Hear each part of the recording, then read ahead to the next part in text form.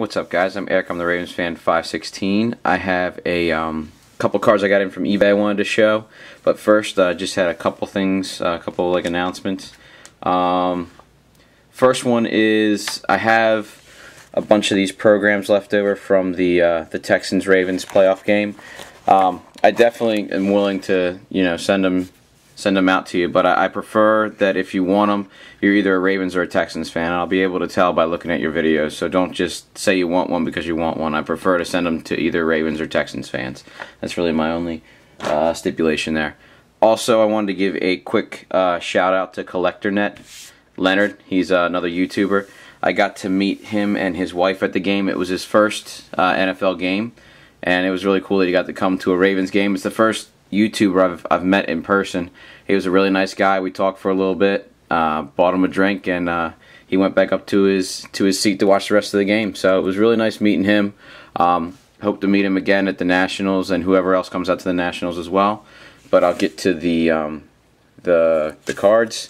I think uh, I got three different players here. I think all three of them are going to be pretty uh, pivotal in the playoff game on Sunday if the Ravens are going to come away with a victory. The first one um, there's not a lot of his stuff out there, but I do think he's a really good player. Um, it's a Dennis Pitta uh, rookie auto out of 2010 Donruss. It's not numbered. Um, actually got this card for free. Um, I signed up for the, the eBay Bucks thing on eBay, and um, over the last couple of months, I guess I had earned like seven or eight dollars back, and this card was buy it now for like five, so I bought it.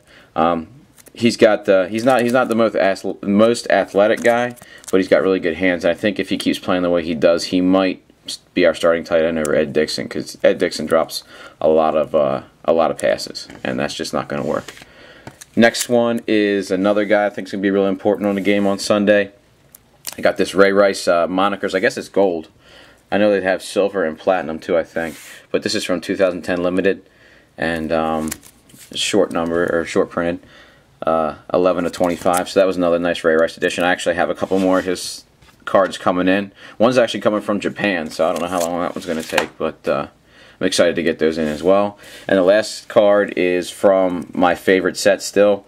Um, it's from 2011 Supreme Topps Supreme, and it's this Torrey Smith uh, rookie auto, numbered 6 of 50.